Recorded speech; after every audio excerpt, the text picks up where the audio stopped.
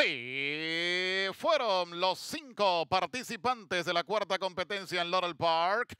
Retrasa Spotted Bull, se queda entre los últimos junto a Shark to Victory. Viene a buscar la punta por la parte exterior de la pista el favorito Wild Behavior. En el segundo lugar por dentro se coloca His Name is Zoo. Para el tercero por fuera avanza Spotted Bull. Cuarto se queda His Incredible y en la última posición Shark to Victory.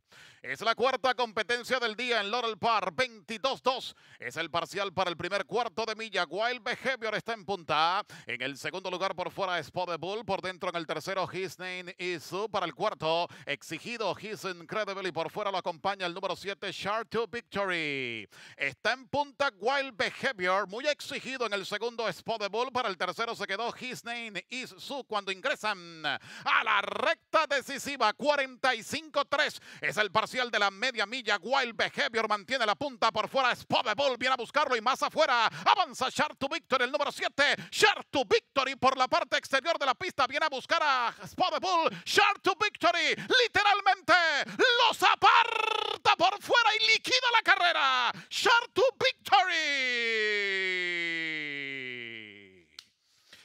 El segundo lugar es para His Name is Sue.